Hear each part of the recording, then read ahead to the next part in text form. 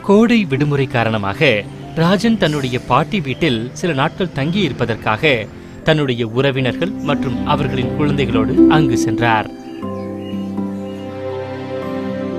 பாட்டி நான் கோல்ட்ரிங்க்ஸ் குடிக்கலாமா? வேண்டாம் ராஜன். இந்த குளிர்பானங்கள்ல எந்த ஊட்டச்சத்தும் கிடையாது. நம்ம தோட்டத்துக்கு போய் எலுமிச்சம்பழத்தை பறிச்சிட்டு வா.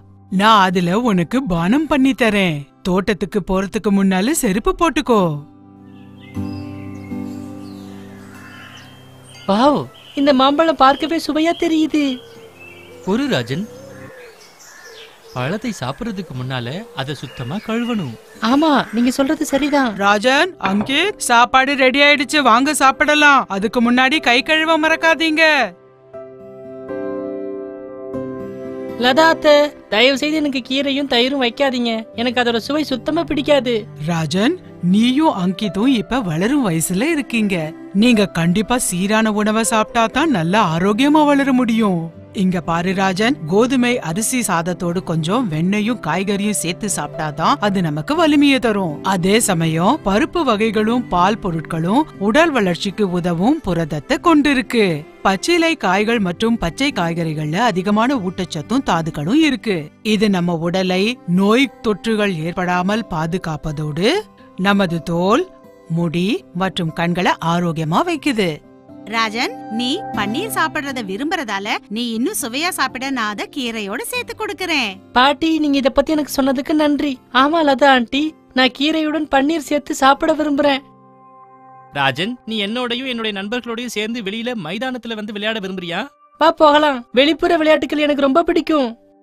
விளையாடி முடிச்ச பிறகு நீங்க ரெண்டு பேரும் உங்களை நல்லா சுத்தமாக்கிக்குங்க லதா அத்தை எப்போதும் சுத்தமா இருக்கிறது ஏன் இவ்வளவு முக்கியம்? குழந்தைகளே கிருமிகள் நோய்கள் மற்றும் வயிற்றுப்போக்கு நிமோனியா போன்ற நோய்கள் மற்றும் கோவிட் 19 போன்றவற்றிலிருந்து உங்களை தற்காத்துக் கொள்வதற்கு தனிப்பட்ட சுகாதாரத்தை மேற்கொள்வதும் அடிக்கடி கைகளை கழுவுவதும் முக்கியம்.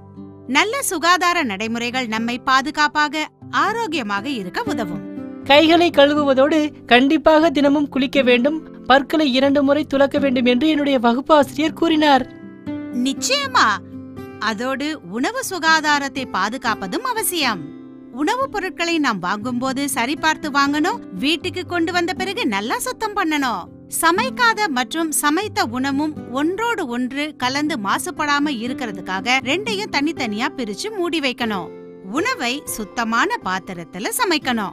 மீதி இருக்கிற உணவை குளிர வைத்து சுத்தமா சேமித்து வைக்கணும். அதனால தான் நீங்க உணவை இரும்பு பாத்திரத்துல சமைக்கிறீங்களா? இது சாப்பாட்டுல ஊட்டச்சத்து அதிகரிக்கும்னு அம்மா சொல்லியிருக்காங்க. நான் இனிமேல இருந்து இதை ஞாபகத்துல வச்சுக்குவேன். நான் தேங்காய் வெல்லம் போட்டு லட்டு பண்றேன். நீங்க திரும்பி வரும்போது அது தயாரா இருக்கும்.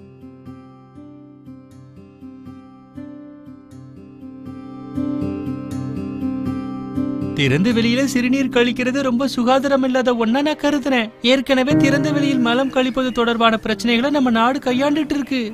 மாமா நாம கொஞ்சம் பேசலாமா? திறந்த வெளியில சிறுநீர் கழிக்கிறது நல்லதில்ல. நம்ம அரசாங்கம் தூய்மை பிரச்சாரத்தை நடத்திட்டு இருக்காங்க. அதனால அடுத்த முறை நீங்க பொது கழிப்பறையை பயன்படுத்தினா நல்லா இருக்கும். ஆமா மன்னிச்சிடுங்க. இனிமே பொது கழிப்பறையை பயன்படுத்துவேன். நன்றி அங்கிள். இது போன்ற நடைமுறைகளாலும் திறந்த வெளியில் மலம் கழிப்பதாலும் ஏற்படும் விளைவுகளை மக்கள் புரிஞ்சு கொள்ளணும் அது மட்டும் இல்லாம இவை நம் வீடுகளுக்கு வந்தடையும் தண்ணீரை கூட மாசுபடுத்தும். ஆமா அதோட பூச்சிகள் இந்த கிருமிகளை நம்ம உணவுப் பொருட்களில் கொண்டு சேர்த்து உணவையும் மாசுபடுத்தும். மக்கள் இது குறித்து கவனம் இல்லாமல் இருப்பது வருத்தமா இருக்கு. ஜோதி கீழே விழுந்துட்டா. வாங்க அவளுக்கு உதவலாம். அடடா அது என் தோழி ஜோதி. வாங்க வேம போலாம். கொஞ்ச நாள் முன்னால நாங்க விளையாடிட்டு இருந்தப்ப திடீர்னு அவ சுயநினைவு இல்லாம மயக்கம் போட்டு விழுந்துட்டா. அப்புறம் சொன்னா அவ லஞ்ச் சாப்பிடலன்னு. அவளை பக்கத்துல இருக்கிற சுகாதார மையத்துக்கு கூட்டிட்டு போவோம். யாராவது அவளோட பெற்றோர்கள் கிட்ட தகவல் சொல்லிடுங்க. டாக்டர் எங்க தோழி மயக்கமடைஞ்சிட்டா. அவ நல்லா இருக்காளான்னு பார்த்து சொல்லுங்க.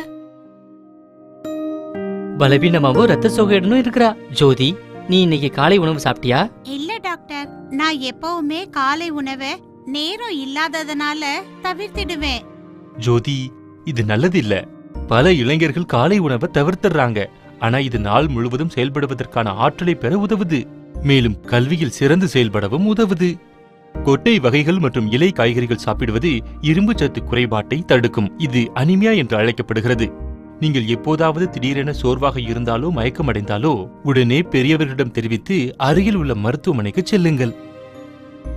ஜோதி நினைவில் வைத்துக்கொள். உங்கள் வயதிற்குட்பட்ட பெண்கள் மாதவிடாய் தொடங்கி ஒவ்வொரு மாதமும் இரத்த இழப்பை சந்திக்க நேரிடும். அதனால் இரும்புச்சத்து நிறைந்த உணவுப் பொருட்களை உட்கொள்வது மிகவும் அவசியம்.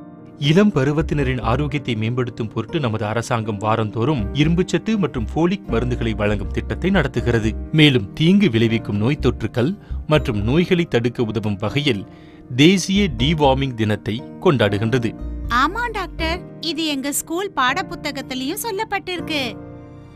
எங்களுடைய ஆரோக்கியம் சுகாதாரம் மற்றும் ஊட்டச்சத்தை நாங்கள் இனிமேல் கவனித்துக் கொள்வோம். இளமை பருவத்தில் ஊட்டச்சத்தின் தேவை அதிகம். ஏனெனில் இது வேகமாக வளரும் மற்றும் வளர்ச்சியின் முக்கியமான கட்டமாகும்.